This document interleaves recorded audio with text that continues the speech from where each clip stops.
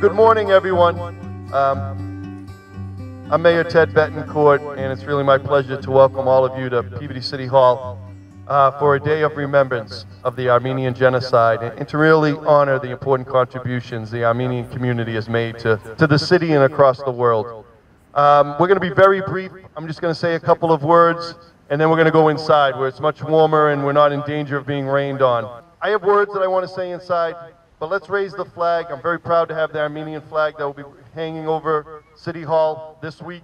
Uh, and then we'll go inside for the ceremony and for some refreshments. So, um, Mrs. Trejan, will you join me and we'll raise the flag together? Trejan family.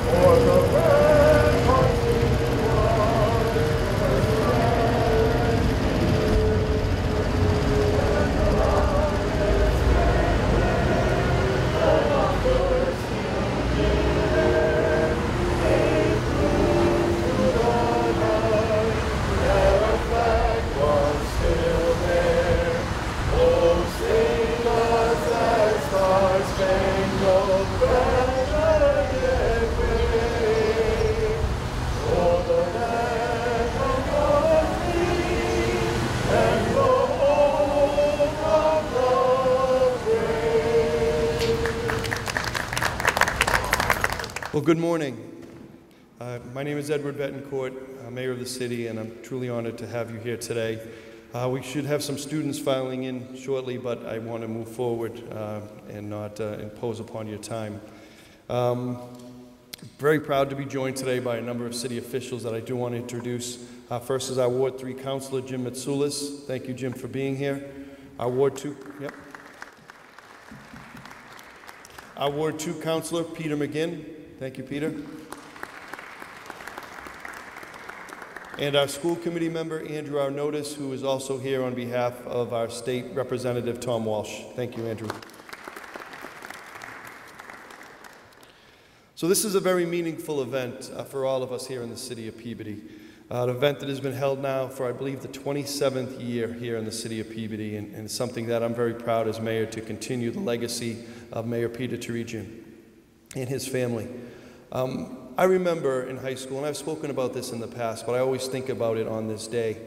Um, I remember when I was a high school junior and Mayor Torigian came to speak at a seminar at Peabody High School. It was in the auditorium, and he spoke about the Armenian genocide. And as a young student, I didn't really know too much about the Armenian genocide. Uh, I knew very little, in fact, and as my classmates, we knew very little about the Armenian genocide. Uh, so it was very educational for us. And to hear his passion and his knowledge and to hear him speak about uh, the devastating tragedies of the Armenian people uh, really left an impact on me, really left a mark on me. Uh, I remember it to this day. All of, all of my classmates, I remember uh, the feeling that we had of something so terrible that could happen in the world. Um, and now, with things that happened in, in Toronto very recently, in Parkland, Florida, it just reminds you that the world can um, see such evil so often. And it's times like this that we need to remember, uh, remember those that have suffered, remember the families, and always hold that in, the, in our hearts to make sure that we guard against anything happening, happening like that again. And that's why this program is so important, and that's why it was begun years ago by Mayor Torigian, and that's why it needs to continue. And as, as mayor, I'm very honored to continue this program. I have some remarks that I'm going to make later, and I have a proclamation that I want to read. But before I do that, I wanted to come uh, invite up for some prayer uh, Reverend Kazuya. Did I say that right? Reverend, please. It's not often my last name is pronounced pretty well. You did a good job with that. Um, we're going to offer the prayer service with, I'm Father Vasken from Holy Trinity in Cambridge. With me is there's Stepan Baljian from St. Gregory Armenian Church in North Andover, and Father Anthony Tandilian from the Saints Vasilios, Vasilios Greek Church here in Peabody. Um, you know, this is the fourth commemoration in a week that we have participated in. I was so happy to see that it continues all around the city of Boston, from one coast to the other LA, Detroit, New York, all around, wherever there's a, a city hall, there's a pocket of Armenians, there's going to be a commemoration service. And at the State House, especially, right, with George Kavarian started for us. It's been wonderful. Um, that our ancestry continues to be remembered. And so, Mr. Mayor, thank you for continuing this very important tradition for us but more meaningful, the, um, the meaning behind gathering in prayer in, in voice. So thank you for continuing this. And uh, we look forward to everyone continuing to come. And I would say, on behalf of all of us, if you have a neighbor, bring him or her with you next year. Let our neighborhood, let our people we live near uh, learn who we are and what our prayers are all about. Deacon Armin, would you like to join us? Would you like to join us? We'll start with the Hyde Mid, the Lord's Prayer. Let us rise in prayer. Orthnial dermer Jesus Christos amen. Hyde Mid, vorhergines yes, sur biegățianunco, եղեսե արկայությունքո, եղեցինգամքո, որբես հերգինս եվեգրի, ըսած մեր հանաբազոր դուր մեզ այսօր, եւ թող մեզ զբարտիս մեր, որբես եւ մենք թող մերոց բարդաբանած, եւ մի դանիրս մեզի փորձություն, այլ բրգյալ մեզի չարե, զիքոյ արքայություն եւ զորություն եւ բար, հավիդյանս ամեն եւ եւս եւ եւս հաուտյանը զերաչություն գագեցո եւ ողորմիա Օրհնություն եւ բար քոր եւ որդվո եւ հոգույն սրբո այժմ եւ միշտ հավիդյանս հավիդենից ամեն Alleluia, alleluia. Peace be to you all. Let us be attentive to hear the Holy Gospel. The Gospel reading is according to St. John. Let us be attentive. Our Lord Jesus Christ says, Do not let your hearts be troubled. Believe in God, believe also in me. In my Father's house there are many dwelling places. If it were not so, would I have told you that I go to prepare a place for you? And if I go and prepare a place for you, I will also come again and will take you to myself, so that there I am, where there you may be also. And you know the way to the place where I, I am going. Thomas said to him, Lord, we do not know where you are going. How can we know the way? Jesus said to him, I am the way and the truth and the life. No one comes to the Father except through me. If you know me, you will know my Father also. For from now on, you do not know him and have seen him.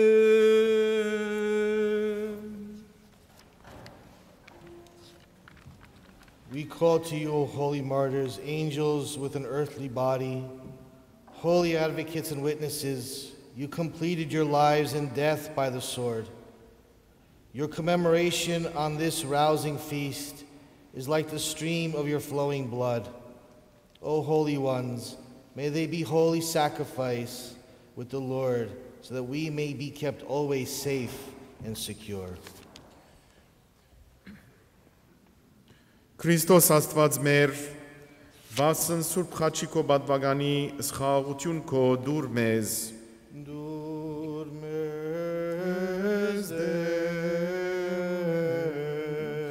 Christ our God for the sake of your holy precious cross Lord grant us peace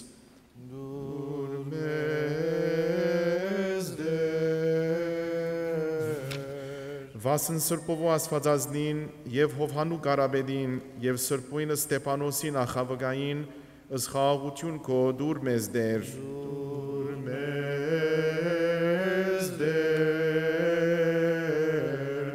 For the sake of the Holy Mother of God and of John the Forerunner and of Saint Stephen the first martyr, Lord, grant us peace.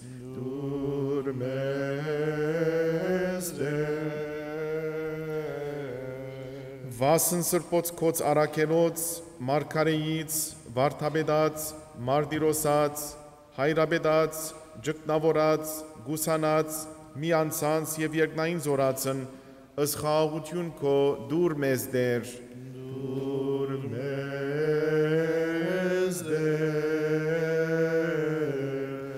For the sake of your holy apostles, prophets, teachers, martyrs, heads of churches, hermits, nuns, solitaries, and the heavenly powers, Lord, grant us peace. Dur mezder. Եվ վասն նախկին լուսավորչացն մերոց Թաթիոսի եւ Պարտուղիմիոսի եւ Սրբոց Հակոբյանց երջանի գարակելոցն եւ Սրբոյն Գրիգորի մերո լուսավորչին եւ Սրբոցն Հակոբա մծփանա հայրաբեդին Մարուկեի ճկնավորին Մերիդոսի եպիսկոպոսին եւ Քևորքա եւ Վարդանա Քաչամար զորավարածն այլև բարեխոսությամբ հիշադակավ եւ աղոթյուկ Սրբոցն նահադագած Աբրիլյան, որ գադարեցան հնդածս հայոց սեղասպանության, վասն հավադո եւ վասն հայրենյաց իսեր անվանն Քրիստոսի, որոց այսօր ըս հիշադագն գադարեցակ, սխաղություն եւս մեծ զորմություն քո բարգեւյա մեզ, մարդասեր դեր,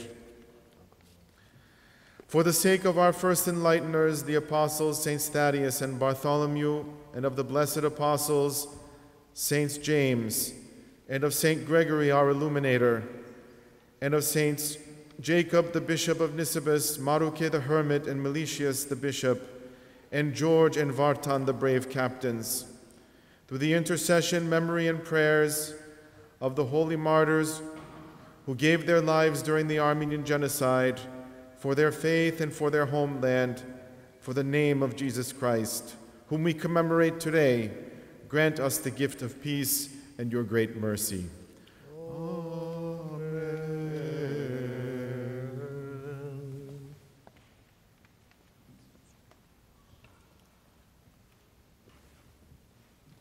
Let us beseech the Lord through the prayers of the holy martyrs who defeated evil and endured anguish and became worthy of luminous heavenly and everlasting crowns. Through their prayers and intercession, may the Lord have mercy on us and raise us to life. Lord, have mercy. Lord, have mercy. Lord, have mercy.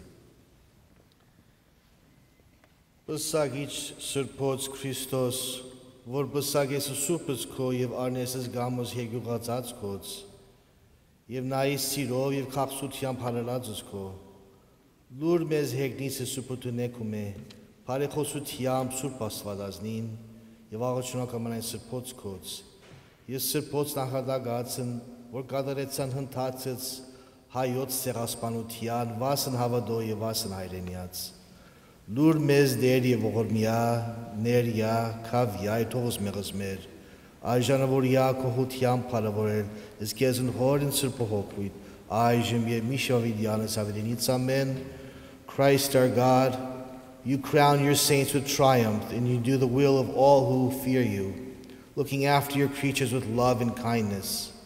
Hear us from your holy and heavenly realm, by the intercession of the Holy Mother of God, and by the prayers of all your saints, especially the holy martyrs who gave their lives during the Armenian genocide for faith and for the homeland. Hear us, O Lord, and show us your mercy. Forgive, redeem, and pardon our sins. Make us worthy thankfully to glorify you with the Father and the Holy Spirit, now and always, and unto the ages of ages. Amen.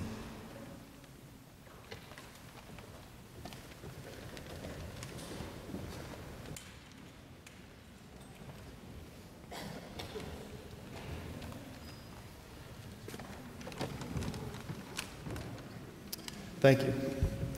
And now it's my honor to uh, ask to come forward to say a few words and to introduce our speaker, uh, Jackie Torigian, who has meant so much to the city of Peabody. Uh, her family has left a wonderful legacy. Um, and I'm, as I said, this will continue for years to come because of their work. Mr. Torigian.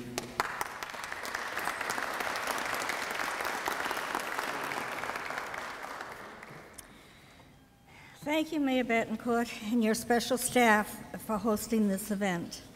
The commemoration of the Armenian genocide was very important to my husband Peter, and I am extremely grateful that the city continues this tradition. Thank you to Anahid Mataros for helping to organize today's ceremony and providing the delicious Armenian food for our lunch. Our guest speaker today is Abi Kouzouian. Abi is currently the Sunday School Superintendent and Youth Director of the Holy Trinity Armenian Church in Cambridge.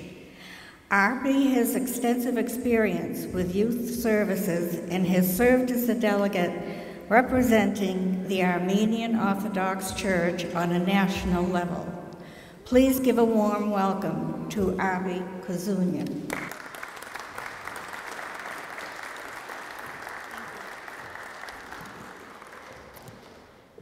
Honorable Mayor, Reverend clergy, and honored guests. Pari Luis, good morning, everyone. I want to start by thanking you for the invitation to be your guest speaker this morning, and to thank you for honoring us by organizing today's commemoration. Similar commemorations have been taking place around Massachusetts and the country all week, as well as around the world. It is important for us to remember and commemorate our history, not only amongst ourselves, but with our neighbors as well, as it provides hope and inspiration for all those who are present, listening to the stories, prayers, music, and thoughts shared, serving as a collective witness to our history, to our world's history. So I truly thank you for allowing us to do this and to be here as well to share with us this morning. I join you here today to share my thoughts on how we can and how I believe we are preserving our Armenian heritage through our youth. For those of you who don't know me, I am Yeretskin Arpi Kouzouian. I'm married to Father Vasken Kouzouian, um, a priest in the Armenian Apostolic Orthodox Church here in America. I was born and raised in Toronto, Canada, and have spent most of my life working with children, youth, and young adults in the Armenian Church. I am trained in youth and young, in youth and young adult ministry and have served as National Director of the Department of Youth Ministry for the Diocese of the Armenian Church, as well as Camp Director for our diocesan camp for over a decade. I currently work as the Youth Director and Sunday School Superintendent in my home parish at Holy Trinity Armenian Church in the city of Cambridge. But my roots in youth ministry started long before I met and married my husband and moved to America 24 years ago. Growing up as an Armenian child in Canada, I had the added blessing of being a first generation Canadian. My sister and I were the first two members of our family born in Canada, all those before us being born in Istanbul, Turkey. I grew up hearing, speaking, reading, writing, socializing, and of course, eating Armenian. I went to school seven days a week, regular school Monday to Friday, and then spent each weekend learning and living my Armenian Christian heritage. For 11 years of my life, from the tender age of three, I spent every Saturday in Armenian school, where we learned our language, heritage, and religion. And I remain to this day a very proud graduate of St. Sahag and St. Mesrob Armenian School. On Sundays, I was equally busy with church life, which included opportunities for both religious and cultural engagement. My parents, my entire extended family, was entrenched in the church, and my sister and I were no exception. I attended Sunday school, sang in the youth choir, was on the executive of our church's youth group, danced in the Gurung Dance Ensemble, played volleyball with AGBU, and spent every spare moment with my Armenian church friends. My passion for all things Armenian led me to attend retreats and summer conferences in New York.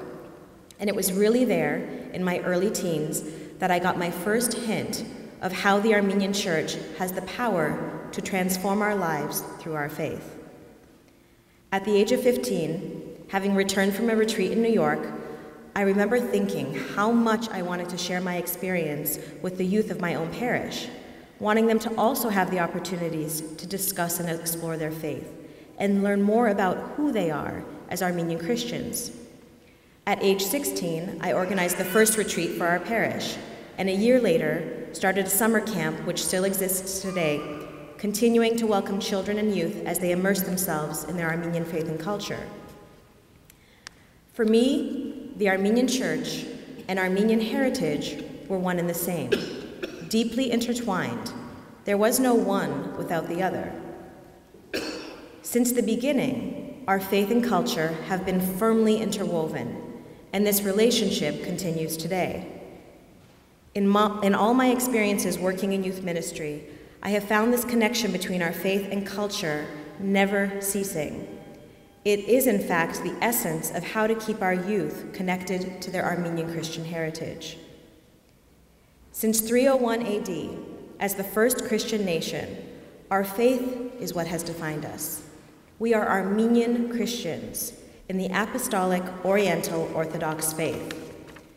And just as our faith and culture are so deeply intertwined, this faith that defines us is deeply intertwined with the darkest period of our history. 103 years ago, our ancestors were martyred, not only because of their language, their successes, or their music, but because of their faith. They were Christians living in a land that refused to accept or even tolerate their difference or their beliefs. When we focus only on the cultural side of our Armenianness, we neglect the most integral part of who we were and who we are. Those who believe that our Armenian heritage is only our customs, traditions, language, music, dance, or food are missing the most fundamental and integral piece of who we are our faith. And I believe most emphatically that it is only through our faith that we will continue to preserve our greater Armenian heritage. I have in fact devoted my life to this belief. Three years ago, a century after the Armenian Genocide, on April 24, 2015, our Armenian nation and diaspora awoke to a new dawn. As those 1.5 million souls massacred during the darkest chapter of the world's history were no longer victims. On April 23, 2015, on the eve of the 100th anniversary of the Armenian Genocide, the Armenian Church canonized the 1.5 million genocide martyrs, now the holy martyrs of the Armenian Genocide. And they became saints, no longer victims, but victors over death. In this canonization, we find a great lesson on how to inspire our young people and help preserve our Armenian heritage, not only for our youth, but for all those of us of Armenian descent. Some of you here today may have family or have friends who have families that were original, original settlers in this area, perhaps tracing their families back to the founding of the city of Peabody and maybe even to the Mayflower. And if so, that is an awesome honor and privilege. As Armenians, it is imperative that we impart to our young people the powerful and awesome reality that many of them can trace their roots back to the saints. This is huge. This is historic and unprecedented. But beyond that, it's an undeniable and incredible honor. And we all, both young and old, must each embrace and own this reality, and we must all live up to it as living legacies of our martyred saints. We must recognize, however, that with this incredible honor also comes great responsibility. Our first responsibility is we must know our family history. If we don't already know our family's history, we must learn it, we must understand it, and we must share it with our friends, with our classmates, with our teachers, our coworkers, our neighbors. We should share our stories with the world. The second great responsibility that comes with this honor is in how we live our lives. Working closely with the children, youth, and young adults of my community, I have the privilege and power of helping to direct their paths. As we all know, much of what they know or think, what, much of what they know or they think they know, comes from what they read and see on social media. In my conversations and lessons with our young people, I am constantly reminding them to stop and think before they post something on Facebook, Instagram, Twitter, or Snapchat before they hit that button that will send out that message or photo that will define them to the world, I ask them to think about how their words, images, or actions reflect their family tree. Do they reflect that they are the descendant of a saint? Do they reflect the heart and soul of someone whose ancestors were martyred for their faith? Do their words, posts, tweets, images, or actions reflect that they are a person of, of faith and the descendant of someone who died for their faith. The third and final responsibility that comes from having saints in our family tree relates to our transition from victims to victors. On this 103rd anniversary of the Armenian Genocide, after a century of being victims to not only the heinous and oppressive acts of the Ottoman Empire, but also the continual oppression of a world that does not fully acknowledge the atrocities done to our people, we now emerge victorious. Our ancestors died for their faith, but now they live on for eternity as saints. During these past two weeks, we have witnessed the recent unrest, protests, and civil disobedience in Armenia. Understandably, our focus has been pulled away from the heroes and martyrs of our past as we have witnessed the emergence of present day heroes, raising their voices against a new oppression and injustice. We thank God that in His infinite wisdom, He granted strength and perseverance and clarity and wisdom to those who needed it most in order to overcome this latest injustice and oppression. The Armenian genocide has defined us as a nation and as a people for over 100 years. But we are so much more than just victims of a genocide. In light of recent events, as we celebrate a new dawn in our motherland, our focus must turn away from our oppressive, dark, and painful history toward the uplifting future we have before us reaffirmed by the recent outcome of the determined and passionate efforts of our young people in Armenia and the diaspora. On this Martyrs' Day, as we remember and commemorate our sainted martyrs, we recall that they now shine as victors over the hatred, oppression, and evil that has defined our history for too long. And today, the children of their children continue their victory over oppression. In order to continue to preserve our Armenian heritage and Armenian identity, we must continue to redefine ourselves, not as victims, but as victors. Victors over hatred and oppression. Victors who can worship and celebrate freely our Armenian Christian heritage, passing on that faith to our children and to our children's children. We must celebrate this victory over death by living lives of meaning. Every Sunday, when I enter our beautiful sanctuary in Cambridge, I am, in, I am reminded that we are indeed victorious. We shouldn't be here. If the Ottoman Turks had had their way and had been successful, we wouldn't be here. Every time we enter our churches, every time we make the sign of the cross and pray our ancient prayers, every time we speak the language of our ancestors, dance our dances, or sing our songs, every time we gather as Armenian Christians, we are victorious. There's a reason we're still here. It is that understanding, that recognition and pride in our, that our young people have that will continue to preserve the Armenian heritage. Our ancestors were massacred because of their race, because of their intellect, their language, their land, and because of their religion. I choose to believe that every time we worship freely as Armenian Christians, it is a reminder that they live on, that our Armenian heritage lives on, and that we are victorious. Well, we must remember that every day we have the opportunity to ensure that our martyrs did not die in vain. Every day, we have the opportunity and responsibility to show our gratitude for their sacrifice by living freely, devoutly, and proudly as honorable members of the faith and heritage for which they were so hated and massacred. Every day, we have the opportunity to live lives of meaning through our thoughts, words, and actions. It is our responsibility as parents and mentors to be an example to our young people by how we live our lives. It is our responsibility to help our young people continue to discover, grow, and thrive in their faith and heritage.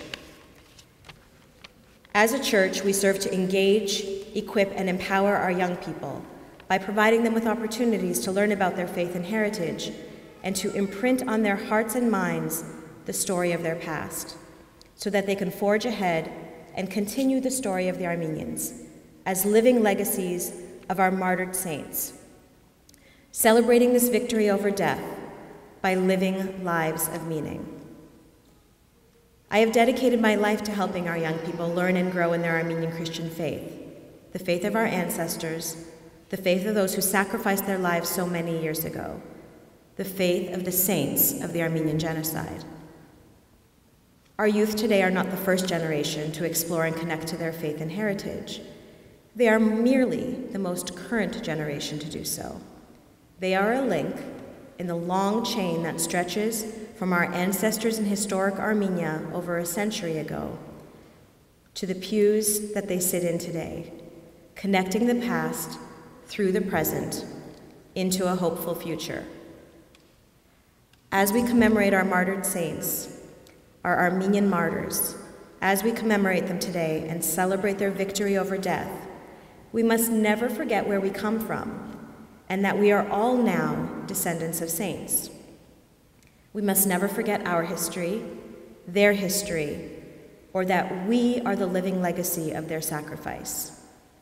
I humbly pray that our youth will always remember and appreciate the sacrifice of our martyrs and always strive to live lives of meaning that are worthy of being called the descendants of saints. Thank you, everyone.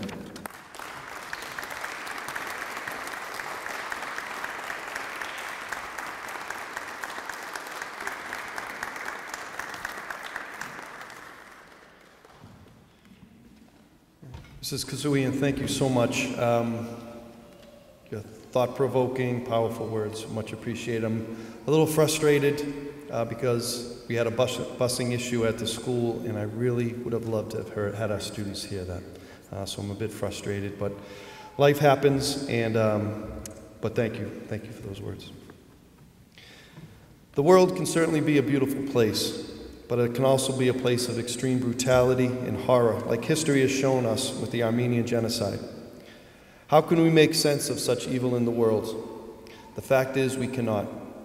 What we can do, however, is pay tribute to the lives of those who were lost and offer care and comfort to the families and loved ones.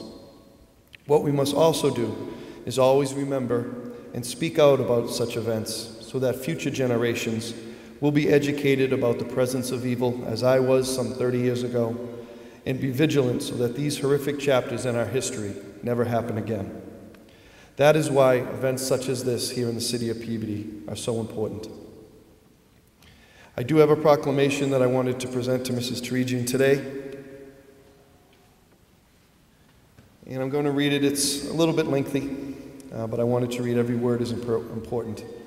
On the 103rd anniversary of the Armenian Genocide of 1915 to 1923, whereas 1,500,000 people of Armenian ancestry were victims of genocide perpetrated by the government of the Ottoman Empire from 1915 to 1923, and whereas at the outbreak of World War I, the Young Turk regime decided to deport the entire Armenian population of about 1,750,000 to Syria and Mesopotamia. And whereas Talat Pasha, leader of the Young Turk movement, was principal author of the plan to exterminate the Armenians. And whereas the plan of genocide consisted of deporting all Armenians of whatever age or condition of health to the totally barren region of what is now Syria. And whereas the Armenians were deported to that region on foot a death march in which more than one million died of starvation or were killed. And whereas Armenians were rounded up and brutally driven from their homes and their land, separated from families, robbed of everything they owned, and stripped of all they carried with them. And whereas thousands of Christian Armenians were tortured and murdered for refusing to accept Islam, Islam as their religion. And whereas the atrocities inflicted on Armenians held in concentration camps and on the death marches to the Syrian desert resemble those of the Holocaust of World War II. And whereas the massacre of Armenians who escaped deportation and remained in Turkey was called the most colossal crime of all ages by the examining American military missions report to the United States Congress. And whereas in a telegram sent by the United States Ambassador Henry Morgenthau to the Secretary of State, Morgenthau warned, warned that a campaign of race extermination is in progress under a pretext of reprisal against rebellion.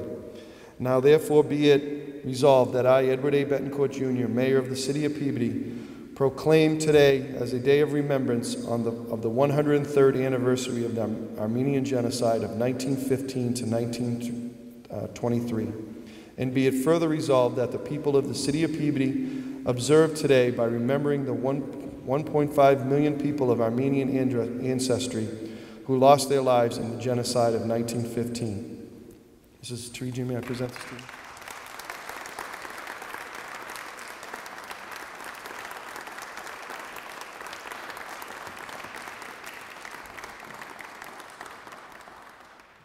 Even reading those words, which I do uh, every year, it's, it's, always very difficult to, to read that. Um, I want to take a moment to, to recognize the important contributions that the Armenian community has made to the city of Peabody. From elected officials, and I think of Mayor Torigian, I think of Michael Garabedian, uh, public safety officials, teachers, I think of Doc Perezzi, and one of my all time favorite teachers, uh, business leaders in our community who have meant so much to the city. The Armenian community has meant a great deal and will continue to mean a great deal and has built this city that I'm so proud to be mayor of, and I want to thank all of you for that. We have some refreshments uh, here, so please um, stay and enjoy yourselves. I want to thank Mrs. Torigian and her family. I want to thank from City Hall Mary Bellavance, our staff, Cookie, who put together the hall for us. I want to thank uh, the Mataros family for the refreshments today. Um, so important to our community.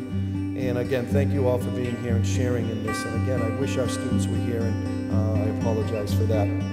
Uh, but in closing, I want to say that I'm very proud to have the, the Armenian flag hanging over the city of Peabody. So thank you.